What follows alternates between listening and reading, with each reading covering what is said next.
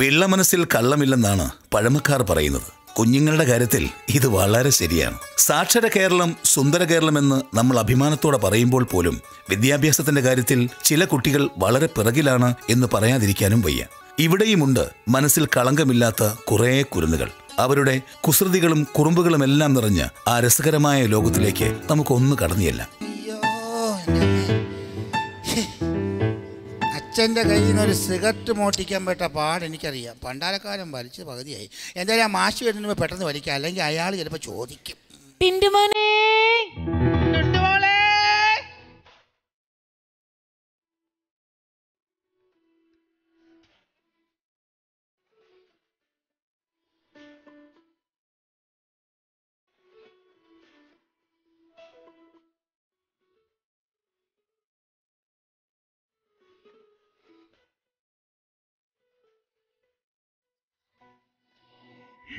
ടിന്റുമോനെ ഇന്നലെ സ്കൂളിൽ നിന്ന് വരുന്ന വഴിക്ക് നീ എന്തിനാ മഴ നനഞ്ഞോണ്ട് വരുന്ന കണ്ടത്?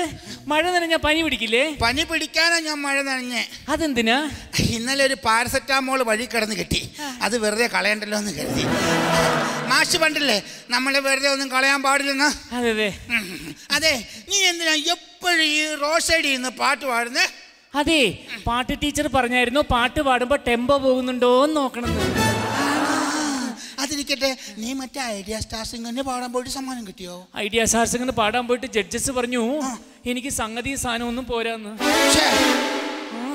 എന്നിട്ട് പാടി കഴിയുമ്പോ അവർ പറയാ ഞാൻ ഷഡ്ജ് വിട്ടില്ലായിരുന്നു ഒന്ന് നീ എന്ത് പറഞ്ഞു? സംഗതി സംഗതിയെ സാധനം ഒന്നും ഇല്ലെങ്കിൽ പിന്നെ എന്തിനാ ഷഡ്ജ് ഇടുന്നതെന്ന് ഞാൻ ചോദിച്ചു.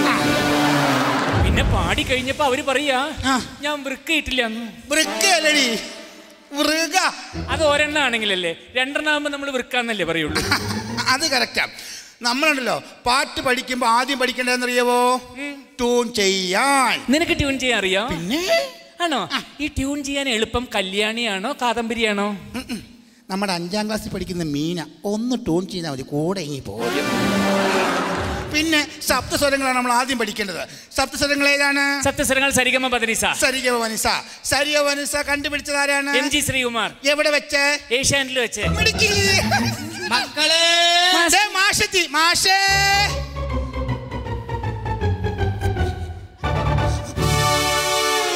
മക്കളെല്ലാരും വന്നിട്ടുണ്ടല്ലോ അല്ലേ? അതെ അതെ. അപ്പൊ നമുക്ക് ക്ലാസ് ആരംഭിക്കാം കേട്ടോ. ഓ. ടിന്റുമോനെ മാഷേ. ചക്കര ചക്കരക്കുട്ടൻ ഡുണ്ടുമോളെ മാസ്റ്റർ ഓ എന്റെ പൊന്നു കൊച്ചു അവിടെ നിന്നാ മതി. ഞാൻ നിന്നെ പഠിപ്പിക്കുന്ന ഒരു അധ്യാപകനാണെങ്കിലും ഞാൻ ഒരാണാണെന്നുള്ള കാര്യം നീ ഇടയ്ക്ക് മറക്കുന്നു. എവിടെ? ഈ പെങ്കൊച്ച് എന്റെ പടം പത്രത്തിൽ വരുത്തിയിട്ടേ അടങ്ങത്തുള്ളൂ. അപ്പൊ നമുക്ക് ക്ലാസ്സിലേക്ക് കടക്കാം. അയ്യോ രാധാമണി എന്തിയേ? രാധാമണി പെറ്റിയെടുക്കുക കിടക്കുക. ഈശ്വര ഇന്നലെയും കൂടി ഒരു കുഴപ്പമില്ലാതെ ക്ലാസ്സിൽ വന്ന കൊച്ചാണല്ലോ. അയ്യോ അവളല്ല അവിടെ അമ്മ. ഓ. ഞാൻ അങ്ങ് പേടിച്ചു പോയി. അപ്പൊ നമുക്ക് ക്ലാസ്സിലേക്ക് കിടക്കാം കേട്ടോ. ഇന്നലെ നിനക്ക് ഭയങ്കര തലവേദനയായിരുന്നല്ലോ കുറവുണ്ടോടാ? കുറവുണ്ടായിരുന്നു. മാഷിനെ കണ്ടപ്പോൾ പിന്നെയും കൂടി. കൊച്ചുവായിൽ വലിയ വർത്താനം വേണ്ട. ഡുണ്ടുമോളെ. ഈ കൊച്ചെന്നെ കോടതി കയറ്റിയിട്ട് അടങ്ങത്തുള്ളൂ.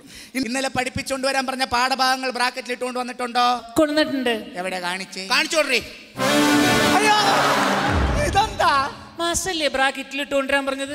എന്റെ പൊന്നു കൊച്ചെ ബ്രാഗ് ഇട്ടിലിട്ടുകൊണ്ട് വരാനല്ല പറഞ്ഞത്. ഇന്നലെ പഠിപ്പിച്ച പാഠഭാഗങ്ങൾ ബ്രാക്കറ്റിൽ ഇട്ടുകൊണ്ട് വരാനാ പറഞ്ഞ മനസ്സിലായോ? ഓഹോ. അപ്പൊ കൂടുതൽ അങ്ങോട്ടൊന്നും പോണ്ട. കണക്ക് പഠിക്കാം. കേട്ടോ? ഡുണ്ടുമോളോടാണ് ശ്രദ്ധിച്ചു കേൾക്കണം. കുമാരൻ ചന്തയിൽ പോയി നൂറ് രൂപയ്ക്ക് പോത്തിറച്ചി മേടിച്ചു. നൂറ്റി അൻപത് രൂപയ്ക്ക് പന്നിയിറച്ചി മേടിച്ചു. ഇരുന്നൂറ്റി അൻപത് രൂപയ്ക്ക് ആട്ടിറച്ചി മേടിച്ചു. ഇത് മൂന്നും കൂടി കൂട്ടിയാൽ കുമാരൻ എന്ത് കിട്ടും? കുമാരന് നല്ല കൊളസ്ട്രോൾ കിട്ടും. അമ്പടി കള്ളി ഇനി ടിന്റു മോനോടാണ് അടുത്ത കണക്ക്. ഒരു ഹാഫ് ബോട്ടിൽ റമ്മ് അതിന് ഇരുന്നൂറ് രൂപ. ചന്ദ്രൻ അമ്പത് രൂപ ഇട്ടു. വർഗീസ് എഴുപത്തഞ്ച് രൂപ ഇട്ടു. കുമാരൻ ഇരുപത്തഞ്ച് രൂപ ഇട്ടു. ഇനി ബാക്കി എത്ര ഇട്ടാൽ നമുക്ക് ആ പൈന്റ് മേടിക്കാൻ പറ്റും. അമ്പത് രൂപ. എടാ കൊച്ചു കള്ളാ മിടുക്ക നീ ആൾ ഭയങ്കരനാണല്ലേ? ഇതൊക്കെ നിനക്ക് എങ്ങനെ കൃത്യമായിട്ട് മനസ്സിലായി? ഇതൊക്കെ ഞങ്ങൾ ഡെയിലി സ്കൂളിൽ ഇടുന്നതാ. എടാ ഗുരുനാഥനെ പേടിയും ബഹുമാനവും ഒക്കെ വേണം. ആ.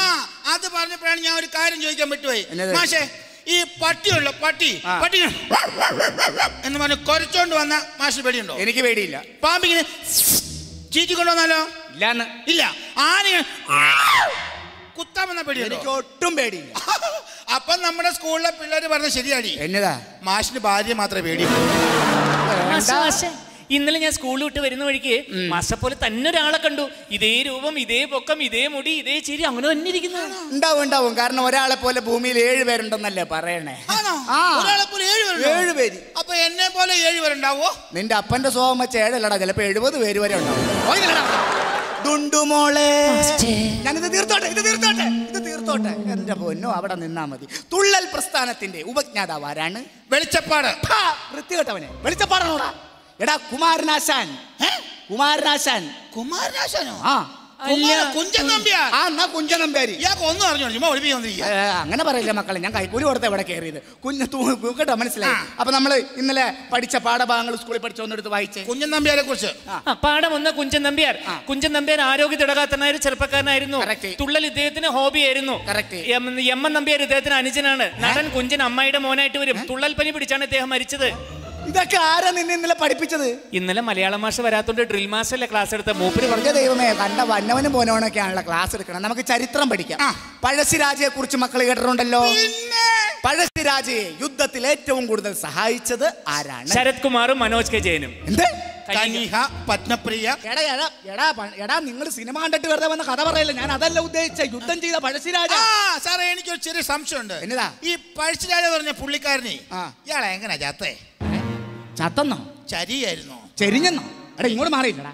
എടാ ഇതുപോലുള്ള വലിയ വലിയ ആളുകളുടെ മരണം നമ്മൾ സ്ഥിരീകരിക്കുന്ന അവരുടെ നിലയും വിലയും അടിസ്ഥാനമാക്കിയാണ്. മനസ്സിലായോ? ഇപ്പൊ ഉദാഹരണം നമ്മുടെ നാട് ഭരിക്കുന്ന രാജാക്കന്മാരാണ് ഭരിക്കുന്നതെങ്കിൽ രാജാവ് മരിച്ചു കഴിഞ്ഞാൽ നാട് നീങ്ങി എന്ന് പറയും. എന്ത് പറയും? നാട് നീങ്ങി. ഇനി ഇപ്പൊ നമ്മളെ ഭരിക്കുന്ന മന്ത്രിമാരാണ് മരിക്കുന്നതെങ്കിൽ വിട വാങ്ങി എന്ന് പറയും. എന്ത് പറയും? വിട വാങ്ങി. ചില സഭയുടെ തിരുമേനിമാരൊക്കെ ഉണ്ട്. അവർ മരിച്ചു കഴിഞ്ഞാൽ നമ്മൾ പറയും കാലം ചെയ്തു. എന്ത് പറയും? കാലം ചെയ്തു. അങ്ങനെയാണെങ്കിൽ വളരെ സമർത്ഥമായി നിങ്ങളെ പഠിപ്പിച്ചുകൊണ്ടിരിക്കുന്ന ഈ മാഷ് മരിച്ചാൽ നിങ്ങൾ എന്ത് പറയും? ആ കാലൻ ചത്തു.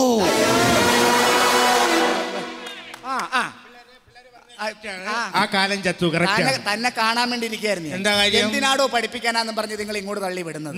എടോ ഒരു കൊച്ചിന് വിദ്യാഭ്യാസവും ഭാവിയൊക്കെ ഉണ്ടാവണമെങ്കിൽ തന്തയും തള്ളയും പറയുന്ന കേട്ട് അനുസരിക്കണം. അതാണ് അവന്റെ കുഴപ്പം. അവന്റെ പ്രശ്നം എന്ന് വെച്ചാൽ അവൻ സ്വന്തം അച്ഛൻ അതായത് ഞാൻ പറയുന്ന അവൻ അനുസരിക്കും അമ്മ പറയുന്ന അവൻ അനുസരിക്കില്ല. അമ്മ പറയണവൻ അനുസരിക്കില്ല അമ്മ പറയുന്ന അവൻ അനുസരിക്കില്ല.